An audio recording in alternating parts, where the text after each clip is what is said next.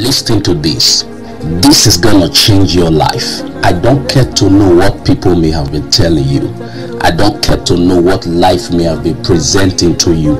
I don't care to know what your surrounding may be telling you from what is happening to you. But I am here sent by God to minister to you today that your life is going to change, that things are going to begin to work well for you. Perhaps you have lived your life without any good thing happening to you, without any help coming to you, without without good things happening in your destiny. Perhaps your life has been all about struggle from one point of struggle to the next point of struggle. Perhaps your life has been a mess. You don't even have a testimony to show for any day of your life. But I've come as God's prophet to decree upon your life that by this time tomorrow you will smile. By this time tomorrow you will rejoice. By this time tomorrow you'll be elevated. No matter what your life seems to be now, I decree your life is turning around. God is making a way for you. Listen to me. You are going to shed tears of joy. You are going to rejoice from the bottom of your heart. You're going to look back and say, Wow, it is God that have brought me this far. Listen to me. Your tomorrow is bright.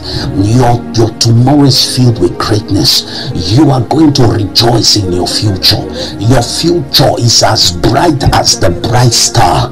Your future is as bright as the bright star. You are going to shine. Perhaps all your life is all about tears. Perhaps all your life is all about regrets. Perhaps all your life is all about betrayal. Perhaps all your life has been one struggle to the next struggle to the next struggle to the next struggle. Listen to me. You have come to the place of solution. And right now, I decree that solution to be made manifest in your life. If you can stay, if you can remain in this place, if you can be rooted in this place, if you can be planted in God in this place, if you can be be be connected to this grace, I decree that this grace will work for your life. I decree that this grace will shine upon your destiny. I decree that that virtue, that good thing, that talent, that gift that God has placed in you for you to shine, I decree it comes out now. It begins to manifest, it begins to shine right now in the name of Jesus.